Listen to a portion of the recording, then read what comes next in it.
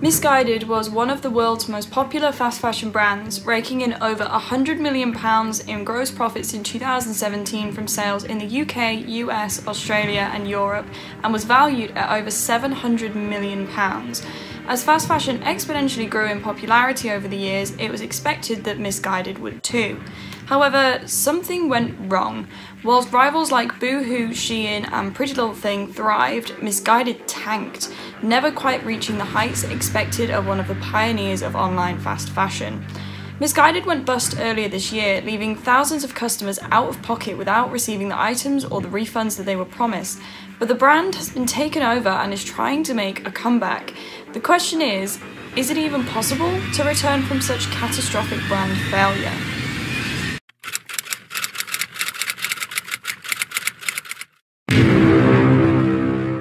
Hey guys and welcome to today's video where we are going to be talking about the rise and downfall of online fast fashion brand Missguided who went from being one of the most prominent fast fashion brands in the business to being put into administration in late May this year. So we're going to be discussing the life of the brand and how its downfall can serve as a cautionary tale to all of the other online fast fashion brands who fail to keep up with the industry at large, which has massively changed in the past few years. So we'll be looking at everything that contributed to the brand's failure in both the long and the short term and examining whether the recent takeover will enable Missguided to get back on its feet or whether that ship has well and truly sailed. So before we start, make sure you are subscribed down below with notifications on and don't forget to leave a like on this video if you do go on to enjoy it. Okay, so before we dive into Missguided themselves, I think it's important to have a brief history of fast fashion generally and how the industry has evolved to become what it is today because the this is the industry obviously where Missguided operated. They were one of the first brands to pioneer the online only model, but also changes in the industry are part of the reason why Missguided ended up failing. So, fast fashion refers to a large section of the fashion industry where the retailer's business models rely on fast and cheap production of low quality garments which will have a short store life cycle. And what I mean by short store life cycle is that these garments will not be on sale for very long. They generally aren't available in stores for longer than kind of a month because the store will rotate stock extremely often to keep customers interested and keep customers coming back and make sure that they're keeping up with the evolving trends by producing new and fresh garments. So the term fast fashion was actually coined in the 1990s by the New York Times in an article describing the arrival in New York of Spanish fast fashion giant Zara and the brand's ambition to take no more than 15 days to get a garment from design to being available in store. The idea of fast fashion had been brewing for many years, notably since the 1960s, where people started to reject the kind of previous ideals of having a few well-made or homemade pieces in their wardrobe and instead they wanted affordable clothing and lots of it. So between the retailers who started their brands in the mid 20th century, it's hard to pinpoint who exactly pioneered fast fashion and who pioneered the type of in-store fast fashion that the New York Times was talking about. But these kind of brands included Zara, Topshop, H&M and Primark. And the trend evolved through the 1990s and the 2000s, with the New York Times writing that H&M's arrival in the US in 2000 came at the right time because it was seen as chic to pay less, with high-end fashion going out of style whilst affordable fast fashion was on the rise. So this trend of affordable clothing carried on right through the 2000s, the 2010s, and now into the 2020s, and has been referred to as the democratization of clothing because now it doesn't necessarily matter what economic or social background you come from, you are still able to express yourself through clothing due to the wide variety of affordable garments that are accessible to people who do not have the kind of money that people in like the 1980s who were buying high-end brands had. So fast fashion, however, experienced a drastic change with the popularization of the internet and brands like Missguided took fast fashion into an online only environment. So before brands like Missguided and Boohoo came along, fast fashion was mostly about getting clothes into stores as quickly as possible, whereas with an online only model, the time taken to deliver an item to a store can be cut out of the equation and instead that time is spent getting a garment to a person's house, making the time that it takes to get a garment from design to sale even shorter, and instead those delivery times were put into the hands of the postal service who would deliver the item to the customers. So they basically just cut out the middleman of having a store that the clothes would go to first. So fast fashion websites also weren't restricted by the size measurements of a brick and mortar store, only by the size of the warehouses. So they could keep more stock and introduce more items each day than their in-store counterparts like Zara and Primark could because a website has infinite room on it and a store only has a certain amount of clothes that it can hold. So when the recession hit in 2008, in-store shopping fell massively, but the internet continued to grow. So this spurred the development of Missguided and other brands like it, with only ASOS having been established as an online-only retailer prior to their financial crash. These online retailers grew quickly because they didn't have as many overheads to cover as brands that were opening in store they didn't have to rent out ground space, they didn't have to pay as many staff, and they could use that money to buy more warehouse space and therefore stock more designs, having to only pay for the floor space for the warehouse and for the garment production process. This industry like absolutely boomed over the next 15 years or so with phones and laptops becoming staples in people's lives and the convenience of online shopping bringing more customers to these fast fashion shops every single day. You know, they can browse through thousands of items to find exactly what they want without having to leave their sofa. Whereas if they had to go to a physical store to find what they wanted, they would have to take time to travel to the store, they would have to take time to walk around, and there's no guarantee that they're going to find exactly what they want. Online fast fashion solidified itself as the cheapest and the most convenient way to get what you need and get it fast. Okay, so now we have a brief history of fast fashion and how the industry has evolved in recent years. Let's specifically talk about Missguided. So Missguided was founded in 2008 by Nitin Passi. He had studied business management at university and then started to work post-graduation at his dad's fashion company, which focused on designing and importing garments that were then sold to high street and department stores in the US. So Nitin worked for two years in New York in his business and he learned a lot about the fashion industry from this. However, this particular company focused on the kind of 35 plus age range and they ordered massive quantities of basic garments which would have lead times of about six months, meaning that garments were being ordered three seasons in advance and were taking six months to produce. And Nitin decided that he wanted to specialize in fashion for younger people. And having seen the headlines during the recession that the only sector experiencing growth in this time was online and the internet, he took a loan of £50,000 from his father and decided to create the Missguided brand. So the founder of the brand obviously was not self-made because his family was already running a successful fashion company and he was able to start this brand because his family had enough money to loan him £50,000 to start his own business, which is an opportunity that most people would not be able to have available to them. So the website opened in March 2009 and Nitin was the only person working for Missguided for the first six months. He stated that his business model at that time was wholesaling, so he would buy one or two pieces of stock from wholesaler, photograph them, and then if he would get an order, he would then get that piece of stock in the size that had been ordered. So there was no holding of stock. He wasn't ordering things in bulk and then trying to sell them. He was literally ordering one thing and then if it sold, he would then order more of it and ship it out to the customers. And he was doing all of the ordering, the photography, the uploading, the writing of product descriptions, and all of the customer care for the business. And he advertised through Facebook and offline, although it's not specified what he actually means when he says offline, whether that's kind of newspaper adverts, magazines, posters, local shops, etc. But to begin with, the business was pretty small and run entirely by him, but it still managed to turn over £100,000 by November of 2009. So the first employees hired were one person in customer care and one person to pack orders who by the time of 2019 the person who was packing those orders was still working for Missguided and all the other functions were outsourced. Again, not entirely clear what it means by all other functions and which functions were outsourced, but obviously the brand didn't have any factories yet, so they weren't designing and producing their own clothes. So I would assume that the other functions includes the entire design process. So the timing of the brand's launch meant that these first few years allowed Missguided to try and test things to find a process that worked for them and grew their brand authentically before the online space really matured.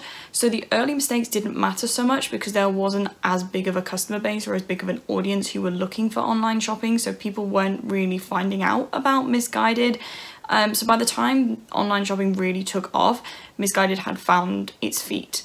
And it finally employed its own design team in 2012 and the first in-house design debuted in the autumn 2012 collection. So the main strategy for the first kind of three to four years was to let the products push the sales. There wasn't a massive amount of money put into the customer experience, i.e. the website, what it felt like to shop from them, and there wasn't much money put into marketing and advertising either.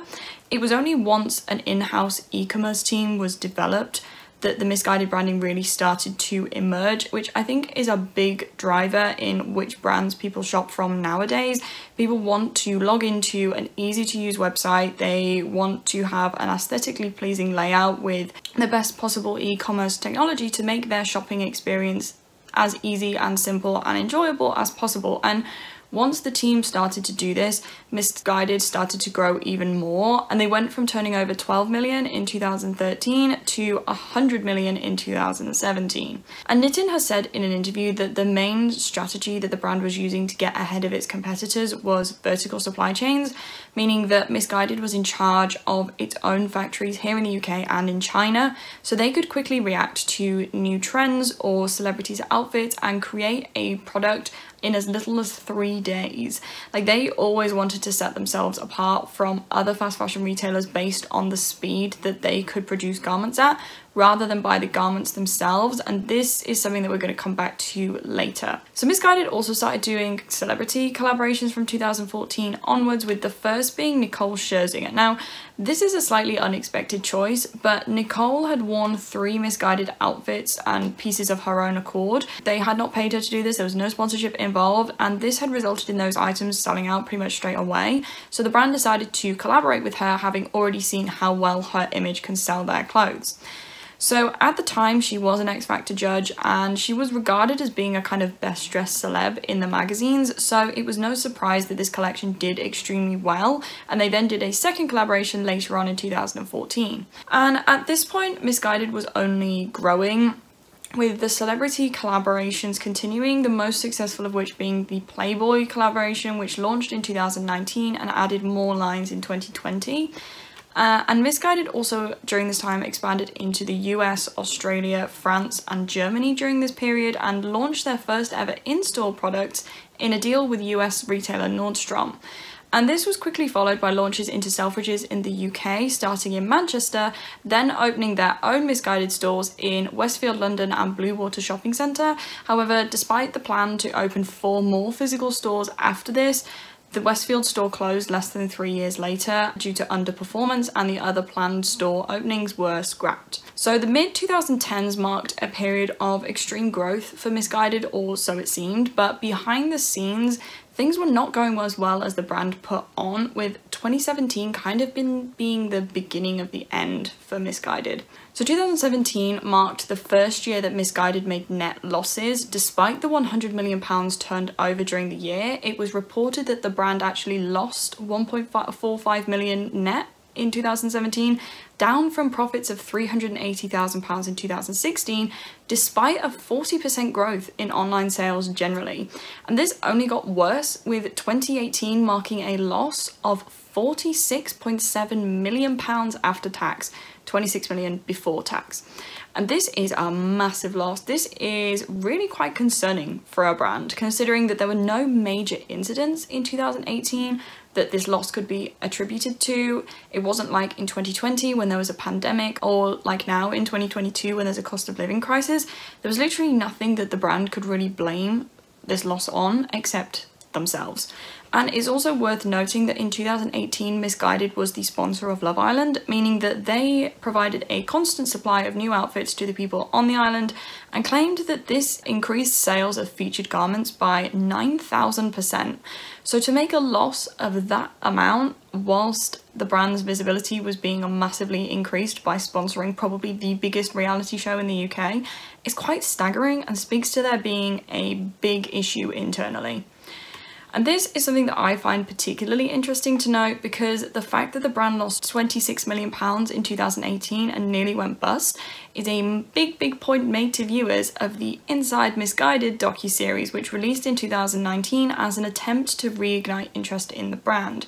And they mentioned it in the introduction, and it's talked about throughout how they've come back fighting and they don't want to make the same mistakes, but it's never really actually explained what happened. Like, considering how much they talk about it, I expected there to be an episode dedicated entirely to what went wrong in 2018, but no, the fact that they lost money is constantly brought up, but no one seems to want to explain why they lost all of that money. Uh, apart from a section where they're buying stock for a Christmas collection and they talk about not wanting to make the same mistakes of overbuying things that people don't want. This documentary initially released on Channel 4 in August 2019 with episodes being premiered once per week over a four week period and it premiered to very mixed reviews with 4.9 out of 10 stars on IMDb so like smack bang average and it recently has become available on Netflix. I think it was in April or early May this year. So more people than ever are watching and talking about this documentary. Now, to give credit where credit is due, Inside Missguided felt like a fuller and more authentic look at a fast fashion brand than the Pretty Little Thing by Molly-Mae documentary that I reviewed earlier this year. I have a video reviewing that series in full, which will be linked down below if you want to go and watch that. I'm not going to go into as much detail ab about Inside Missguided because I don't want this video to be two hours long, but it is better produced than the PLT one and it gives a broader overview of the Missguided brand. However, I do still think that it missed the mark. So I think what I'm going to do is just give a quick summary of anything of note that crops up in each episode for the sake of time, and then we'll talk more about the overarching issues at the end of this section. So episode one showcases the brand's focus on Instagram by showing the shooting and release of a collaboration collection with Jordan Lipscombe and talking about the brand's strategy for trying to get Molly-Mae to sign a deal with them following her stint on Love Island, which if you've watched any of my previous videos about Molly-Mae and PLT, you will know how well that went for Missguided. So also, side note on this, they wanted to use Molly's teddy that she had with her in the villa that became a kind of staple and they wanted to use it as a selling point by making an outfit for it when they went to go and do the pitch. Um, but they actually got the teddy's name wrong. So the teddy was called Ellie Belly and they described it as Nelly Belly, which is like a, it's a very small thing. But when you're offering an influencer £350,000 for a sponsorship deal, you would think they'd want to do everything to make sure that they got the details correct. And I feel like this is indicative of the brand's attention to detail overall. So in the part about the Jordan collab, there's a comment made by Treasure, who is the senior campaign and creative manager, about how there was a ton of pressure on them because the collab needed to turn things around for the brand and she joked how she liked that it drained her soul. And this is something that I wanted to hang on to because the fact that the brand has one thing that it's relying on to do well and it doesn't have kind of multiple profitable projects going on at the same time so that if one fails they've got like a load of others that can cover for it indicates to me that the management just wasn't that good. Like a company as big as Missguided should not be putting all of its eggs in one basket and putting that much pressure on its employees to get things 100% perfect all of the time because otherwise the brand will fall back into the red is you know, a little bit mean to put that on an employee's shoulders. Like it should be the management who are spreading things out evenly so that if one thing fails, it doesn't matter too much because all the other things are successful.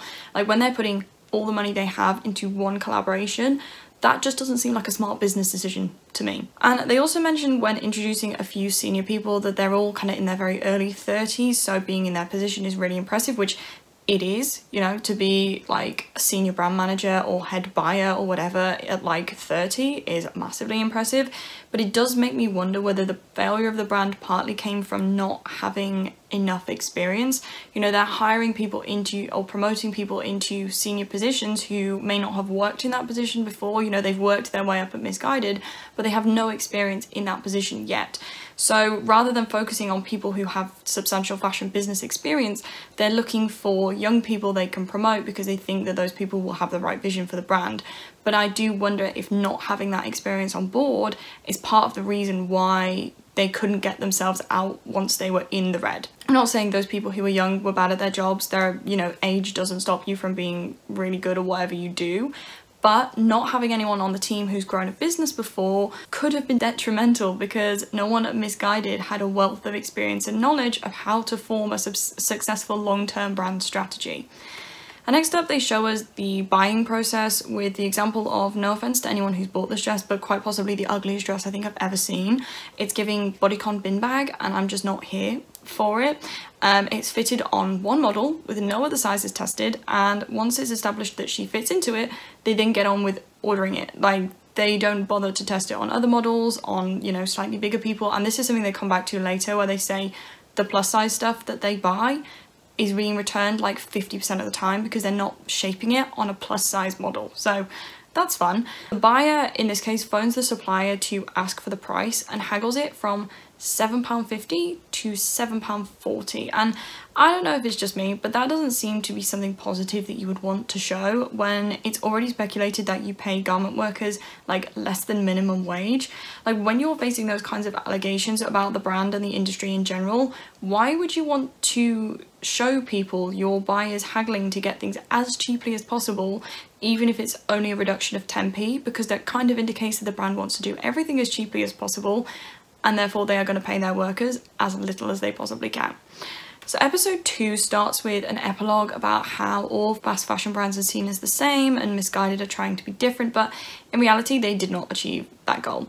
Missguided were extremely forgettable in relation to their other fast fashion rivals and I think that's down to actually the clothes just being less appealing than what other fast fashion brands were offering.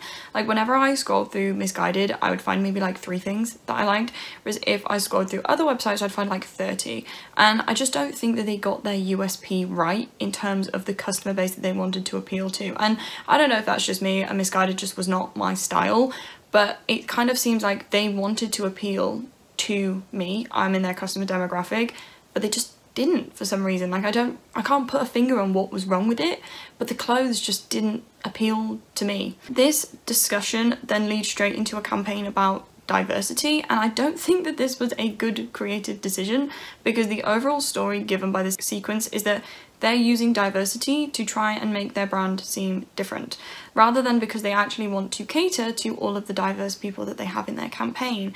And I'm sure that's not the intention, but this choice of narrative in this context just did not work, in my opinion. Also, later in the episode, the headquarters get told that one of their adverts has been taken off air because it is objectifying women. So it's not really a good look to make this big deal about empowering women and campaigning to be diverse and different, and then get told off by the advertising standards agency because you're producing content that objectifies women. And they then talk about a successful marketing campaign where the boss's Lamborghini was wrapped uh, and decorated with the brand's name and and Pamela Anderson, which supposedly went viral. This is the first example of this disruptive advertising angle that they push throughout the documentary, but they then go on to say that they're doing the same thing again by wrapping a Rolls Royce in pink branding and then hiring Gemma Collins to promote it.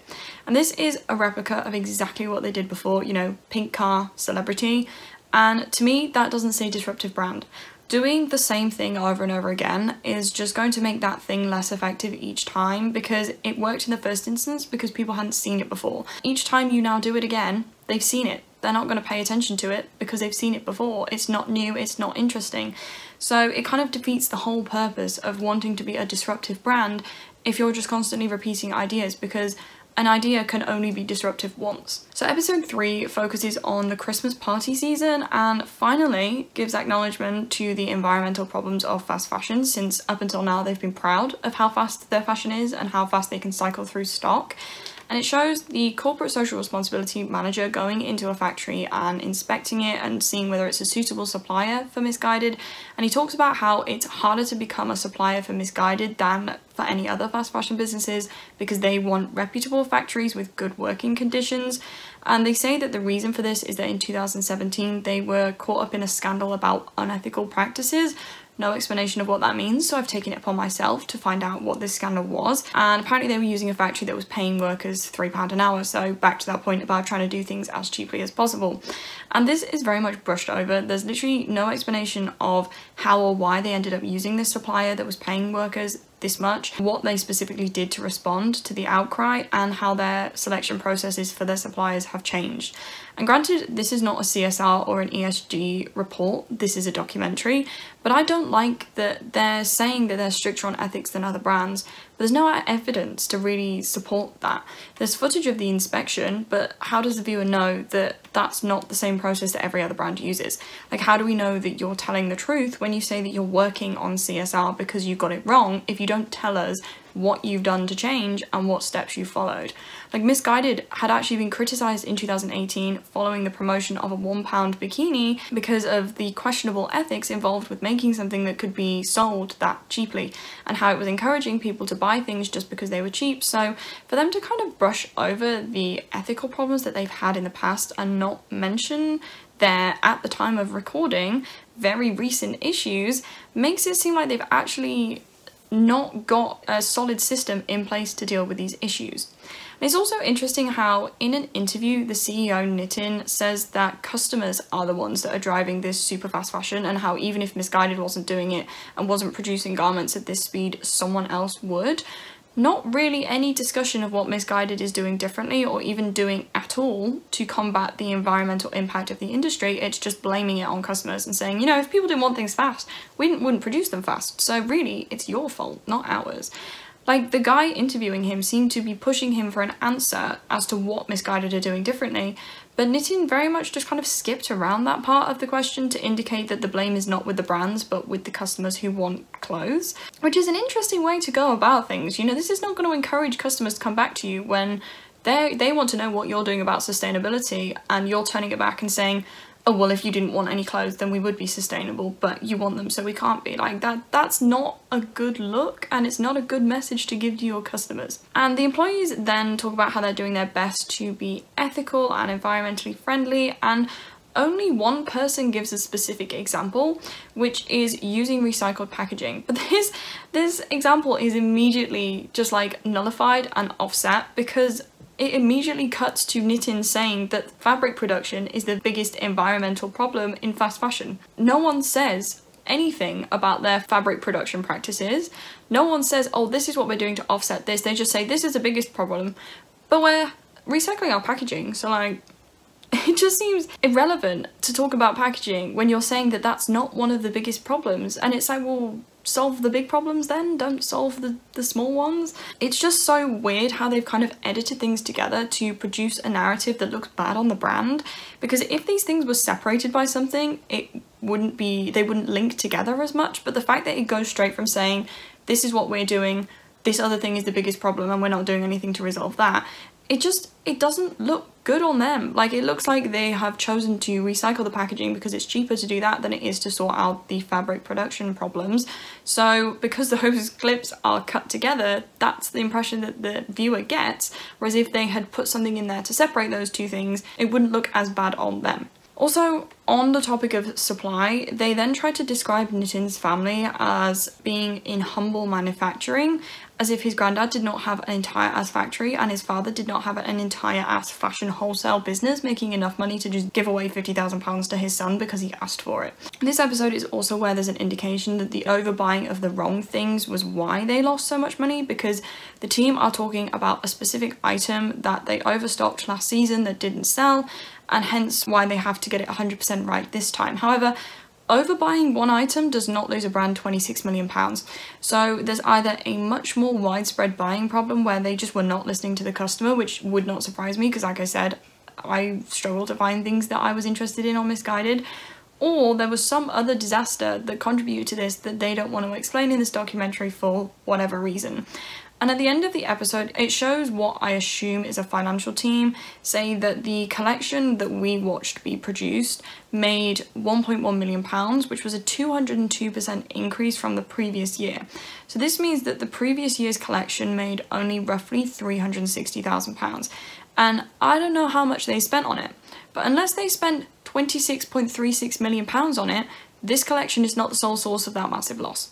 So episode 4 honestly is not that interesting. It shows the prep for Black Friday, shooting a winter sports campaign and the end of year staff party, but there wasn't really anything in this episode that I picked out as specifically interesting. It just kind of built on what we talked about previously.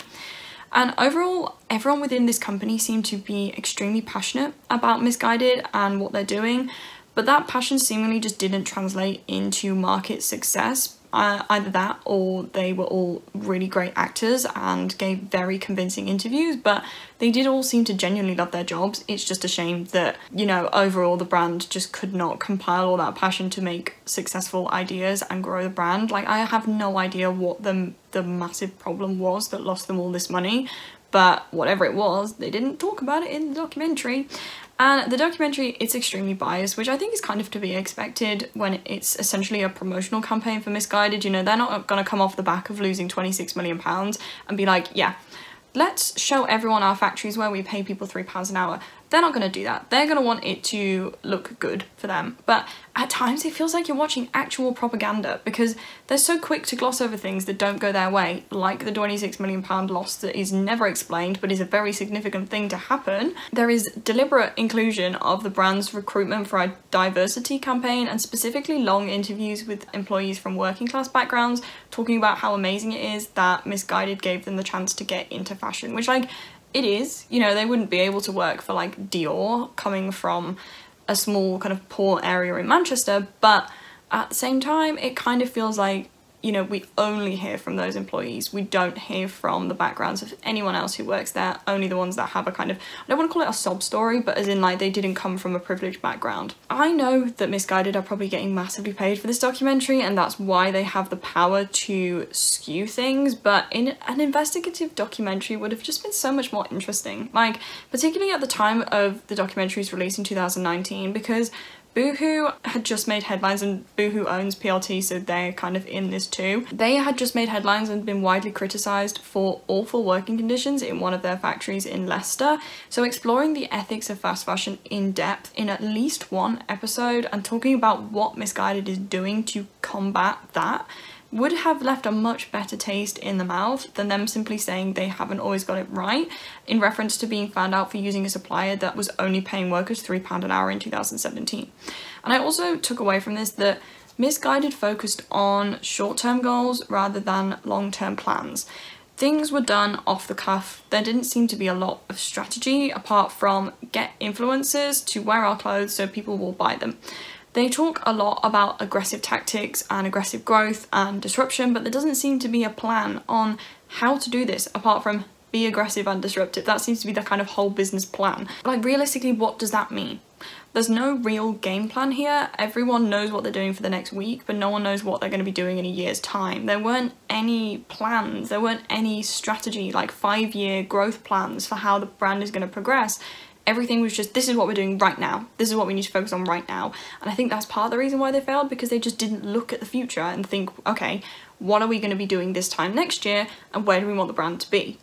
And one small point that I saw in a couple of reviews, which didn't bother me, but it probably would bother some people, um, was the language.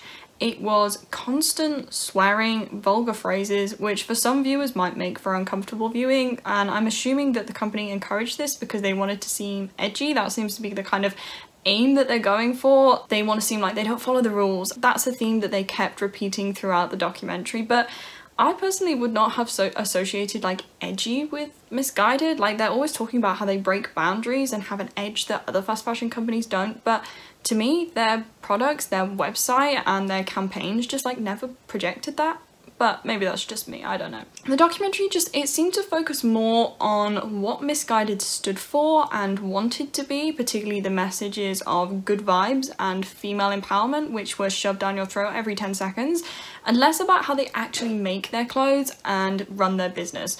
And even when they visit the factories and the warehouses, there's no explanation of how those places actually operate. It's just simply Nitin talking about the Missguided branding and image whilst people do their jobs in the background.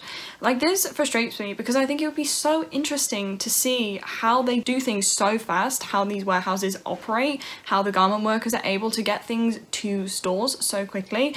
But there's just no explanations of that apart from the shots of the buying team negotiating prices and the designers talking about designing things. But we never actually see the designers making the designs. We don't see a garment go from design to production, which considering they say they can do that in three days, I would have expected to see at least like one garment, you know, focus on this and show us how you get it from design to production and how you get it from production to sale.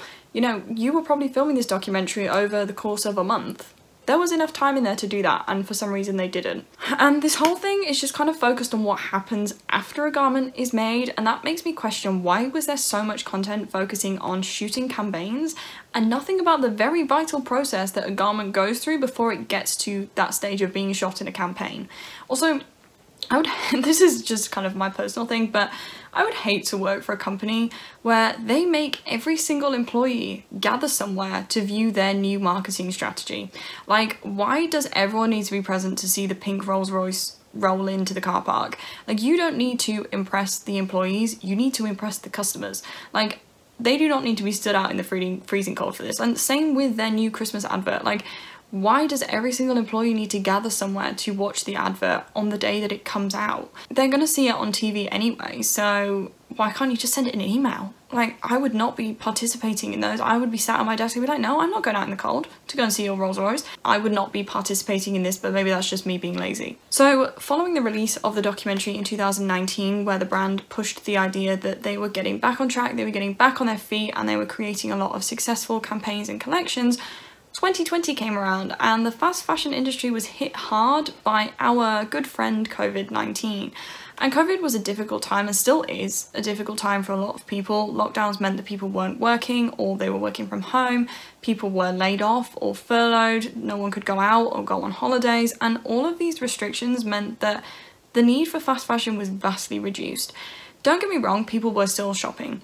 When people in the UK were furloughed, if you didn't have bills and rent to pay with that money, so like me for example, I didn't go on furlough, but had I been on furlough, I would have definitely been buying things every single week because I'd have nothing to spend my money on it was kind of like money for nothing if you didn't have those expenses. So spending it buying new clothes that you'd hopefully be able to wear when lockdown ends kind of seemed like a fun thing to do. And it kind of worked both ways. Some people were bored, they had money but nothing to spend it on, so they ended up ordering more than they usually would whilst others had less money due to re reduced hours or furlough being 80% of their normal wage, so more of that had to go on their rent and their bills because they were having less disposable income, so they were buying less than the amount that they would usually buy from fast fashion sites. Or customers wouldn't buy clothes at all because they couldn't be sure when they were going to have the chance to wear them. You know, you don't want to buy a whole new summer wardrobe and the lockdown doesn't end until November.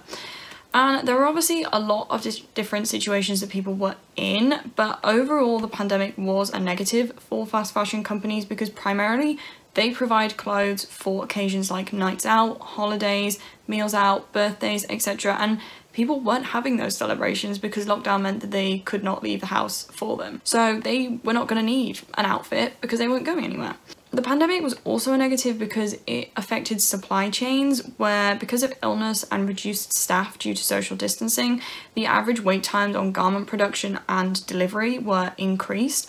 And this was a problem for fast fashion in particular because when the entire brand is built on being fast, it can quickly lose its customer appeal when it's not fast anymore. And the brands that chose to focus on newness and speed failed to account for what they would do if circumstances outside of their control reduced their ability to deliver new things quickly. So, Missguided very much died by its own sword because it made a, such a huge deal about its speed of garment production being its USP against other brands. COVID-19 and lockdown I think also made people more aware of how environmentally damaging their shopping habits may be because the buildup of clothes that you'll wear once becomes a lot more apparent when you've got nowhere to wear them. Sustainability and attempting to shop more sustainably is a movement that's been kind of slowly developing over a number of years, but in the past like three to five years has suddenly just taken off, with climate change making people more acutely aware of how damaging the constant stream of poor quality new clothes that often end up in landfill is. And the materials used in fast fashion clothing are not from sustainable sources because those would cost more and would up the price of the garment, which is opposite to these brands' ethos and would defeat the whole point of being fast and cheap. So those clothes are particularly bad for the environment and when they're only being worn once for a night out then thrown away, that's a lot of clothes that are going to end up in landfill sites. And as a result of people becoming more aware of this, they are starting to shop either secondhand from websites like eBay, Vinted and Depop or from vintage stores or from brands with a focus on sustainability and eco-friendliness, of which Missguided is not. And the recent season of Love Island being sponsored by eBay instead of a fast fashion brand, I think has definitely been a turning point because it's subconsciously shown to millions of viewers like this series has been one of the best viewed series, at least in the first few weeks. And it's shown to young people in the UK that you can still look good while shopping sustainably. And I think the denouncement of fast fashion by the most popular reality show in the country will drive more people to look for secondhand clothing because the whole point of this show is that you look good. You know, people are let onto Love Island because they are good looking. So showing that they are wearing secondhand clothing and you can't even tell is gonna push people to buy more stuff secondhand editing me here. So I just wanted to also say that since I filmed this video, uh, eBay signed Tasha, who was widely regarded as being like the best dressed girl this season as their first ever second hand ambassador. So that is also going to push people towards buying secondhand because influencers are now partnering with sustainable fashion brands and fashion retailers like eBay to push sustainability and secondhand shopping particularly because Tasha has just come off Love Island, so she's kind of in the peak of her popularity right now. Pretty much every fast fashion brand except PLT that's based in the UK has reported losses since COVID, including ASOS and Boohoo, and the new sustainability trend is absolutely not going to help their cases, and it was definitely one of the contributing factors to why Missguided failed. Because, for example, PLT is trying to incorporate sustainability. I think they are in the process of creating an app where you can swap your old PLT clothes with other people's old PLT clothes or sell them back to the brand so that they're not going to landfill. Uh, whereas other brands just are not seemingly doing anything or at least publicly not doing anything. I think ASOS does put like little notes on stuff if it's low carbon emissions, but you know, realistically, when they stock so much stuff, it's not going to be sustainable. Now we've had the kind of overview of the general problems for the industry, let's talk about what actually happened with Missguided. So the first point where it looked like Missguided might be struggling was in December 2021 when a 50% stake in the brand was sold to Alteri investors in the hopes that the extra cash injection from the sale would give the brand more liquidity when it was struggling with supply chains as a result of not only COVID but also Brexit. Here in the UK we've had a lot of problems getting things shipped from overseas because we're no longer allowing EU nationals to work. So the people who were, a lot of the people who were driving HGV lorries were EU nationals and they're now not able to do that. So that's great for us. Here in the UK, we really are paying for the consequences of our actions. Anyways, Missguided had actually managed to pull itself back from its £47 million loss in 2018 to a much less significant £5 million loss in 2019. And it did for a while do okay during the pandemic because people were shopping for loungewear and sportswear things that often people go to Primark for because the joggers are like four pounds, but Primark doesn't have an online shop. So all of Primark's previous customers were looking for somewhere else to buy their cheap loungewear, and fast fashion retailers could do pretty well by focusing on those items instead of the usual going out clothes. However, Missguided failed to continue its positive trajectory, and we're going to talk about the main reason for that in a bit, don't worry. But by December 2021, the 50% stake uh, sale was the only thing that kept them afloat. And Alteri Investors is a firm that focuses on underperforming businesses, and they did attempt to save Missguided by making redundancy and demanding a 30% cut in the price of all garments from suppliers even on orders which had already been delivered. And Nitin Passi then stepped down as CEO in April 2022. I'm not 100% sure how involved he was with the business from there. I can't imagine that he left completely, but there was no reports I could find saying that a new CEO had been appointed. So I'm guessing they didn't appoint anyone new because by May 2022, the company went into liquidation. I'm guessing Nitin stepped down due to internal pressures because investors were very aware that they were not doing well and they blamed him as the CEO. On May 10th, the company went into administration following a wind up petition from one of its suppliers, JSK Fashion. The week prior to this, it had been reported in newspapers that three of the brand's suppliers were at risk of collapse because Missguided was their only customer and had not paid them anything. One factory owner claimed he had to sell his wife and mother's jewellery in order to be able to pay his workers, and another said that the company owed them more than £2 million, hence why they sought Missguided's compulsory liquidation, as this would mean that the assets that the brand had at the time of liquidation would be sold and that cash would be divided up between the secured creditors in order to repay the company's debts. And apparently, the excuse given to suppliers in April was that the payments were going to be temporarily ceased due to restructuring internally.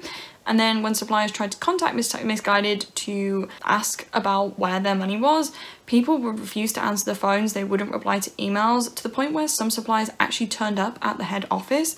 And Missguided's response to that was to call the police and send all the employees home so that no one could talk to the suppliers. It was also sad watching the documentary, there were scenes where one of the supply factory owners was everyone was saying he was such a nice guy, just trying to do the best for his workers, and how partnering with Missguided would be such a huge opportunity for him. And now we can see that three years after that was filmed, Missguided took the products from his factory and didn't pay for them. So him and his workers were then all left out of pocket. And it's kind of bitten them in the ass to show this in the documentary because now there's names and faces to match with the suppliers, which are usually faceless, so it will evoke more of an emotional response to the fact that Missguided collapse and left these people millions of pounds out of pocket. The interviews that the suppliers gave during the administration really did not make Missguided look good. They said that they were having to work for margins of 2 to 5%, and what we saw in the documentary about Missguided haggling for the cheapest prices as humanly possible supports this allegation that they were making. And they also said that when Missguided needed something, they would call the supplier like 20 times a day for it. But when the suppliers were struggling and they weren't being paid, Missguided would just halt payments with no warning or explanation, leaving the factory owners to take out personal loans and sell their possessions in order to pay their staff's wages. And Missguided officially entered administration on the 30th of May, and this left many customers angry and upset because basically what it meant was that anyone who was owed a refund from the company for an order placed before the 30th of May was considered to be an unsecured creditor, and the only way that they could get their money back from Missguided would be to make a claim in the administration, but they would be placed in a queue behind all the secured creditors, which included all the suppliers, Alteri, any banks that Missguided had taken loans from, so they would basically never get their money back that way. So they could try under Section 75 of the Consumer Credit Act if they paid with a credit card for something worth more than £100 to get their money back that way because that uh, section makes credit card companies equally liable for if something goes wrong. But apart from that, the only option that you could use if you paid with a debit card or through PayPal or whatever was to make a chargeback through the bank if the bank was able to get that money back. And this left customers feeling particularly sour because the website was still actively accepting orders through this time, despite there being a massive delay on shipping and no refunds being issued if clothes were returned. Supposedly, the company would honour any refund for an order placed after the 31st of May, however, a quick Twitter search proves this is not the case because people were still unable to get their money back from the retailer for those orders, and they then changed the date to say you had to order after the 16th of June. Hi, me again. Uh, so Missguided has actually conveniently removed all statements from their website referencing the administration. Uh, they've deleted all of their tweets between the 30th of May and the 28th of July, which showed the inconsistencies between the dates that people could get refunds for. And I also looked on their website to see if I could find the FAQs page because the link on their Twitter doesn't work anymore. It's you to an error 404 page. And the description for Missguided is the description for flannels, which is also owned by Frasers Group. But someone has just copied and pasted the description from flannels onto the Missguided website. They haven't changed it at all. Uh, there's no information about Missguided on there. It's just, you know, if you wanted to know about flannels, here's all the info you might need. So on the 1st of June, Missguided was bought for £20 million by Frasers Group, which owns House of Fraser and Sports Direct. And Mike Ashley, the head of the group, said that Missguided would be operating under administrators for a period of eight weeks. So it should be out of administration by the time that you see this video. However, I'm not sure that that is the case. They've not really said very much about it. So the website for the company relaunched on the 17th of June and has been available to make purchases from ever since.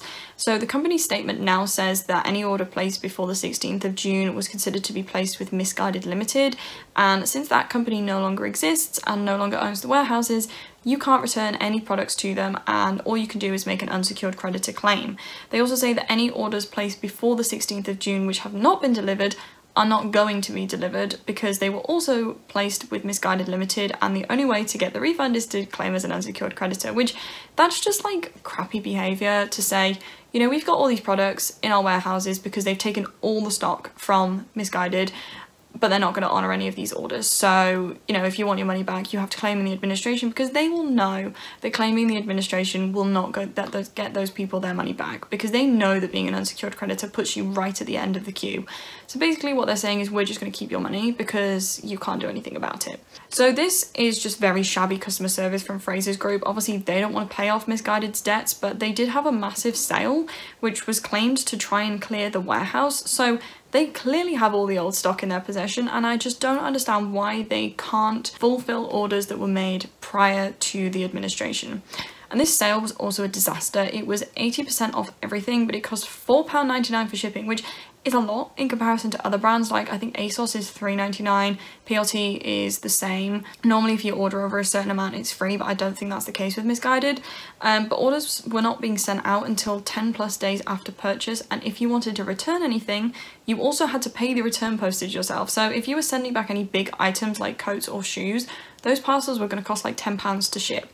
So it also looks like there were people who ordered things and sent things back and haven't received any refunds. So the entire thing is just a complete mess right now. And I don't know how they're planning to come back from this when they've had two months of just disaster after disaster, terrible customer service and no update on how they plan to bring this brand back.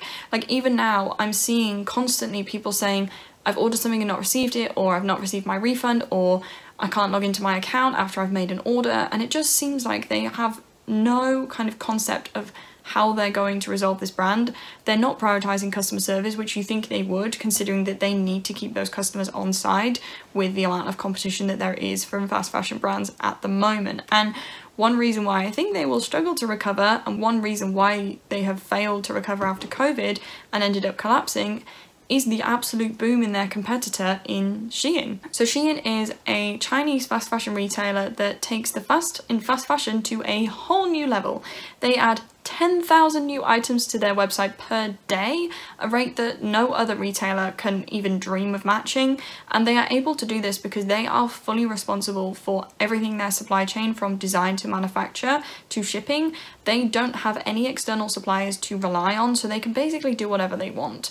And Shein saw a huge rise in popularity during the pandemic, mostly due to TikTok and people doing Shein haul videos. Shein has always been cheap, but it's never been reputable.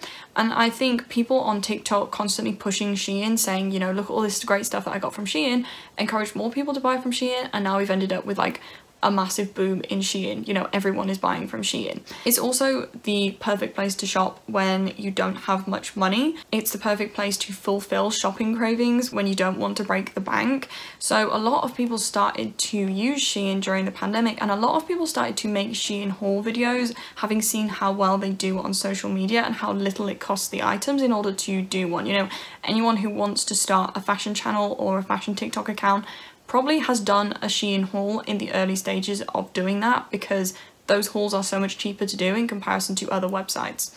So in comparison to their competitors, Shein is significantly cheaper. You can get tops for like £3, whereas on Missguided they would have been 12 And here in the UK, there is not the supply options to make things that cheaply within the remits of our laws. So unless companies wanted to outsource to places like China where they could massively underpay their workers, they can't compete with Shein. And Shein also designed their website to keep people on there for as long as possible by offering huge discounts like 80% off, outfits for a pound, and constant flash sales to get people to scroll through lots of items in order to find a good bargain before it disappears. And this also plays into the cheapness aspect because Missguided could not afford to constantly offer clothes at 80% off. You know, when it did a bikini for a pound, they got massively criticised because of its supply chains being based in the UK and people were then immediately concerned that they were not complying with the wage laws in the UK. With Shein, they aren't based in the UK and they don't uh, disclose anything about their supply chains publicly. So, whilst people point out that it's literally impossible for them to be paying a decent living wage, because it's not happening in the UK, the brand just ignore it and continue to make extremely cheap clothes that more often than not consumers are too tempted by and will lead them to ignore the red flags of lack of sustainability and likely poor working conditions. And Shein also thrived because they were just smarter than the other brands. Shein invested a lot of money into advertising algorithms that would detect which clothes were popular with consumers and then put them in social media adverts for consumers of a similar demographic and place those clothes at the top of the listings on the website. And Shein uses big data tools to scour the internet and viral trends to determine what items of clothing they should make next, something that other companies aren't really doing. They're relying on humans to do that rather than data tools. So Shein can always be the first to churn out 100 products in a popular new style because their algorithms would know that was something was becoming popular before it became a huge trend. And they can also track what's being purchased constantly, so the website itself can automatically alter the listings to make make sure that the popular items appear at the top and encourage people to buy more things. And especially in the current times when there's a significant cost of living crisis, which is limiting people's abilities to buy clothes, a lot of people are looking for the cheapest option for new clothes or occasion outfits rather than focusing on buying from somewhere sustainable because when money is tight uh, cost has to come first. And when cost comes first, Shein is the cheapest option out there. And Shein's value was placed at $100 billion earlier this year, and their app overtook Amazon to become the most downloaded app from the App Store in May 2022. The hashtag SheinHaul on TikTok has over 5.8 billion views, and it's not showing any signs of stopping. Every day they add more items, they reach more people, they produce more advertisements, and they are seemingly pretty much unstoppable. They are pricing out all of the other fast fashion brands because no one else can offer that variety of items at that low of a price. And whilst Missguided was the first to fall, I don't think that they will be the last. So the last thing I want to do is just discuss whether I think Missguided will be able to make a comeback. Obviously, Shein is not going anywhere, but the UK government is planning to introduce an extended producer responsibility tax for fashion brands, um, meaning that garments sold to UK customers will be subject to an extra tax charge, which will then go towards investing in the reduction of textile waste and investment in new tech to make fashion greener. But this isn't in place yet, and it's not clear how it would affect the ability of companies like Shein to sell their clothes at such a cheap price here. But obviously Shein has a lot of US customers and well customers all over the world. So having that tax in the UK is not going to stop them from selling at the same price elsewhere and in terms of Missguided themselves, if I'm being honest, I don't think the products themselves were unique enough for people to miss them because there's the option to get pretty much the same thing from websites like Shein, PLT, Boohoo, ASOS. You know, Missguided wasn't offering something different because what they originally prided themselves on was the speed of getting the garments to the website and then from the website to the customer. So now that PLT and Boohoo have their own UK factories, they're all on the same level in terms of how fast they can produce new items and Shein's offering 10,000 new items per day so unless a brand is offering something unique in terms of the actual products themselves they aren't going to get anywhere and going under is likely going to be the end of that brand because their customers can so easily go elsewhere. And I also think Missguided was particularly pricey for fast fashion. Dresses and coats would be like 60 to 70 pounds, whereas on Boohoo they'd be like 20 to 30 pounds. And I don't think that the clothing quality was much higher than Boohoo and PLT. So unless Missguided were going to change supplier and lower their price, I don't think that they're going to be able to compete with their cheaper rivals. And they've also shown themselves to have very bad buying habits when it comes to choosing their stock, as evidenced by their documentary. So there would need to be a lot of work done to the company and a lot of new people brought in to really rectify the mistakes of the past. And I don't know if Frasers Group has the people necessary to do that, since House of Fraser has been over the last year closing a significant amount of stores due to lack of revenue. And also, the customer trust just is not there. Even post administration announcement, people aren't receiving their orders. The customer care is awful, refunds are not being processed, so people are naturally going to be put off buying from them when they can't trust the brand to A, deliver the items, and B, deliver an acceptable level of customer service and compensation for those items. They've had so much bad press on social media over the past two months that I just don't know if it's possible to make a recovery from that much opposition to them and to clear their name.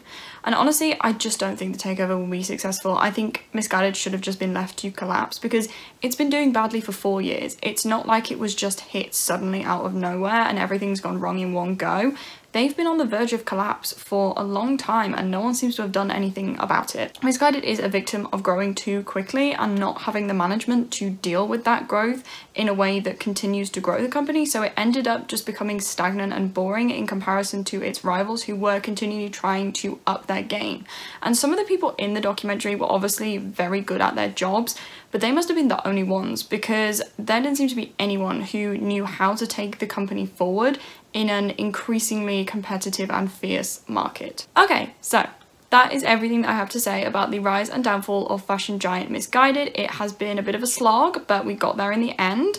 Uh, I hope you guys did enjoy the video. If you did, don't forget to leave a like, leave a comment with any thoughts that you might have, and subscribe to see more videos like this. I will leave my other rise and downfall of videos about fashion brands in the description down below if you want to watch any of those. And if you have any thoughts, do you think Missguided will return? Have you ordered from them since then? Then let me know in the comments. Apart from that, uh, I will hopefully see you guys in the next one. Bye guys.